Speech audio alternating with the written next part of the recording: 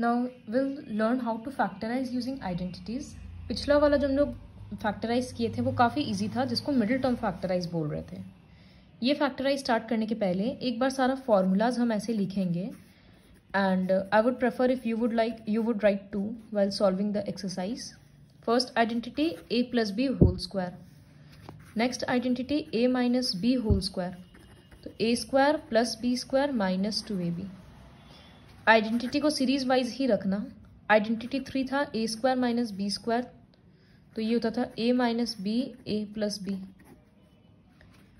Fourth identity था, A plus B plus C whole square. तो एक बार तीनों टर्म का स्क्वायर, फिर एक बार two A B, two B C and two C A.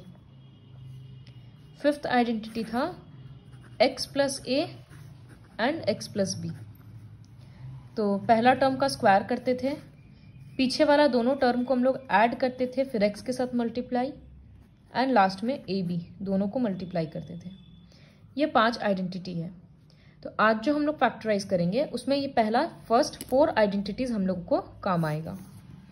जो हम लोग मिडिल टर्म किए थे, वो हम लोग एक्चुअली इसको यूज़ करके किए थे। You don't have to use that now so I start with my question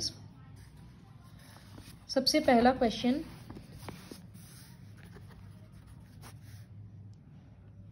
Suppose I am doing question number 2. 4x square plus 9y square minus 12xy. Factorize करना है मतलब ब्रैकेट वाला फॉर्म लाना है। तो हमको इसको हम क्या लिख सकते हैं? फोर एक्स स्क्वायर को टू एक्स ब्रैकेट के बाहर स्क्वायर तो ये हो गया टू का स्क्वायर फोर एक्स का स्क्वायर इसी तरह से नाइन वाई स्क्वायर को लिख सकते हैं थ्री वाई का होल स्क्वायर फिर हम लोगों को क्या पता है कि टू ए बी का फॉर्म होता है। जैसे ये रहा प्लस टू ए बी या माइनस टू ए बी तो हम इसको क्या लिखेंगे? माइनस टू डॉट डॉट का मतलब इंटू ए क्या है मेरे लिए? पहला टर्म टू एक्स है तो टू एक्स फिर डॉट बी मेरे लिए क्या है? थ्री वाई तो थ्री वाई तो ये कौन सा आइडेंटिटी का फॉर्म हुआ? अगर हम इसको पेंसिल से लिखेंगे just for the sake of understanding तो ये कैसा दिख रहा है? ए स्क्वायर है प्लस बी स्क्वायर है और माइनस टू ए बी है। तो इसके लिए क्या होता था? ए माइनस बी का होल स्क्वायर।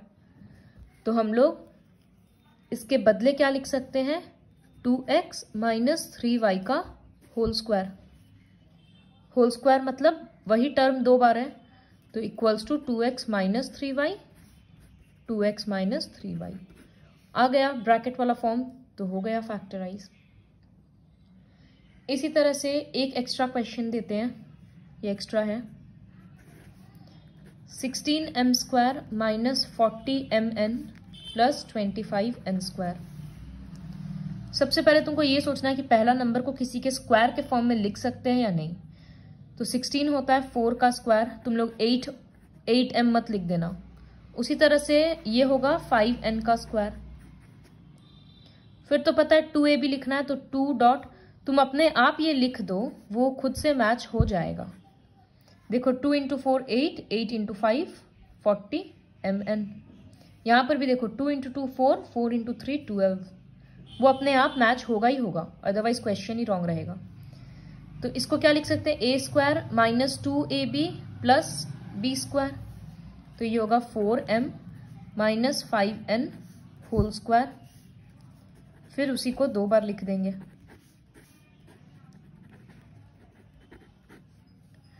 अगर यहाँ पर प्लस फोर्टी एम रहता तो ये प्लस होता तो ये हो जाता A square plus two A B plus B square तो A square plus B square plus two A B वो पहला आइडेंटिटी हो रहा था तो हम लोग होल स्क्वायर में प्लस दे देते, ऐसे प्लस हो जाता। फिर ये एक पैटर्न था, जिसमें डायरेक्टली आइडेंटिटी लग जाता था आइडेंटिटी अब फिफ्थ क्वेश्चन है। Nine X square Y nine X square Y minus twenty four X Y square plus sixteen Y cube इसमें क्या है कि कोई सिर्फ़ स्क्वायर है ही नहीं, साथ में और भी एक्स्ट्रा आ जा रहा है तो हम लोग कॉमन ले लेंगे। इसके पास x है, y है, x है, y है, लेकिन इसके पास सिर्फ़ y है। वाई तो तीनों के पास है। तो हम लोग वाई का सबसे कम पावर क्या है? वन तो हम लोग उसको कॉमन ले लेंगे। और क्या कॉमन आ रहा है? इसमें से थ्री आएगा, इसमें से थ्री आएगा, लेकिन इसमें से नहीं आएगा। तो कुछ कॉमन नहीं आ रहा है। कॉमन लेने के बाद हम लोग ब्रैकेट देते हैं। तो ये होगा nine X square minus twenty four X दो वाई से एक ले लिए। और यहाँ पर प्लस सिक्सटीन तीन वाई था, एक ले लिए तो वाई स्क्वायर बच गया। तो इसके बाद क्या करेंगे? अब ऑब्ज़र्व करो, ये अपना आइडेंटिटी बन गया। इसको लिख सकते हैं थ्री एक्स का स्क्वायर इसको लिख सकते हैं प्लस फोर वाई का स्क्वायर तो ज़रूर इसको लिखेंगे two three X dot four Y देखो two into three six six into four twenty four X Y हर बार अपने आप होगा। तो ये लिखेंगे three X minus four Y का होल स्क्वायर अब इसको तुमको दो बार लिखना होगा। Three X minus four Y three X minus four Y Y को दो बार मत लिखना। तो ऐसे होता है। ये होता है सेकेंड पैटर्न जहाँ पर फैक्टराइज करने के पहले हम लोगों को कोई भी चीज़ को कॉमन लेना पड़ता है। इस तरह से बहुत सारा क्वेश्चन है। कुछ कुछ स्टेप्स हम करके दिखा देते हैं। जैसे सिक्स क्वेश्चन है। Two A cube plus four A square B plus two A B square तो इसमें भी क्या, जब क्यूब रहेगा मतलब समझ जाना तुम लोग कि कुछ कॉमन लेंगे सबके पास ए है तो एक ए कॉमन लेंगे यहाँ सबके पास टू भी कॉमन आ रहा है तो टू भी ले लेंगे। कॉमन देने के बाद स्क्वायर ब्रैकेट टू तो हट गया, यहाँ पर ए स्क्वायर बचा। फोर से टू डिवाइड हो गया टू बचा। एक ए लिए तो एक ए बचा और बी बचा। यहाँ से टू और ए दोनों ही हट गया तो बी स्क्वायर बचा। देखो कितना सिंपल है, इसको तो लिखने का भी ज़रूरत नहीं ऑलरेडी पता है A plus B whole square है। तो टू ए, फिर ब्रैकेट में A plus B, A plus B. इस तरह से क्वेश्चन नंबर सेवन इसका हम सिर्फ़ फ़र्स्ट स्टेप दिखाएँगे।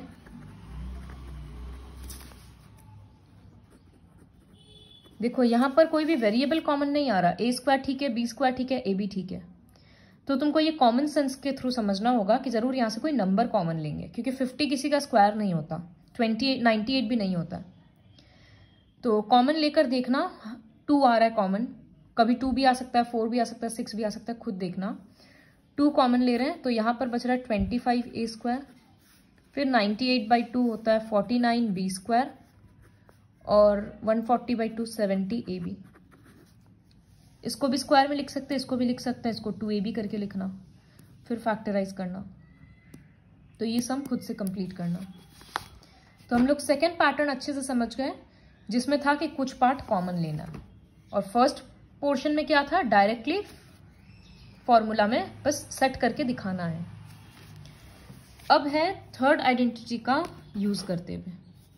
क्वेश्चन है sixty four X square minus eighty one Y square ये कॉमन सेंस के थ्रू पहचानना कि जब दो ही टर्म रहेगा तो इसका मतलब थर्ड आइडेंटिटी है। A square minus B square A minus B A plus B तो इसको क्या लिख सकते हैं? एट एक्स का होल स्क्वायर और इसको लिख सकते हैं नाइन वाई का होल स्क्वायर। तो ये हो गया A square minus B square. तो क्या लिखते हैं? ए प्लस बी, फिर ब्रैकेट ए माइनस बी। तुम लोग मैक्सिमम जन इसको करता है eight X minus nine Y का होल स्क्वायर। ये होल स्क्वायर नहीं होगा। ये इंडिविजुअल स्क्वायर है जिसका प्लस और माइनस लगता है। होल स्क्वायर होना होता तो plus two A B minus two A B लगता और यहाँ पर प्लस होता। तो प्लीज़ यहाँ पर फोकस करके करना।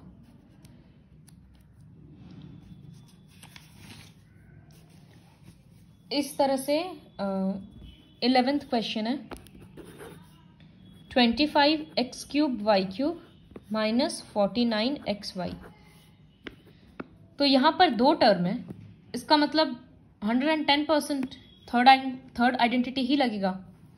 लेकिन कॉमन uh, भी लेना पड़ेगा। दोनों के पास एक्स वाई है तो एक्स वाई कॉमन ले लेंगे। तो यहाँ बचेगा twenty five X square Y square minus forty nine क्योंकि उससे तो एक्स वाई हट ही गया। फिर इसको क्या लिख सकते हैं? फाइव एक्स वाई का होल स्क्वायर और इसको लिख सकते हैं सेवन का स्क्वायर तो ये क्या होगा?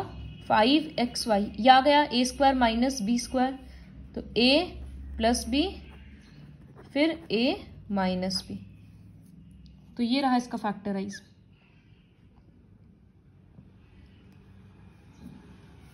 तो इस तरह से जैसे टेंथ क्वेश्चन है, उसको भी रफ में ही दिखाएँगे. Sixteen A square B minus sixty four B cube तो बी क्यूब है और बी है तो बी तो कॉमन आ ही रहा है. सिक्सटीन भी कॉमन ले सकते हैं. तो ये बचेगा ए स्क्वायर यहाँ बचेगा फोर फिर उसको लाना कि ए को ए स्क्वायर को ए का स्क्वायर लिख सकते हैं फोर को टू का स्क्वायर लिख सकते हैं। फिर उस तरह से करना। नेक्स्ट क्वेश्चन है question twelve okay I will start with question twelve in the next video